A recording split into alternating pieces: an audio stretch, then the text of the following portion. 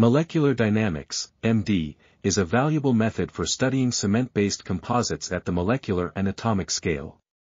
This research paper discusses the progress of MD simulation in Portland cement and geopolymer-based materials, including molecular structure models and auxiliary experimental techniques.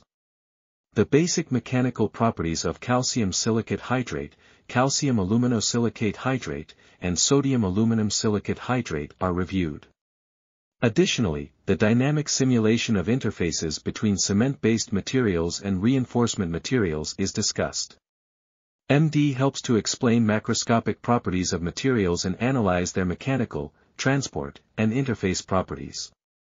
However, existing structural models and force fields can be affected by environment and time, and further study is needed to improve concrete performance through experiments and MD simulation. This article was authored by Li Li, Yujie Wei, Qi Feng, and others. We are RTCL.TV, links in the description below.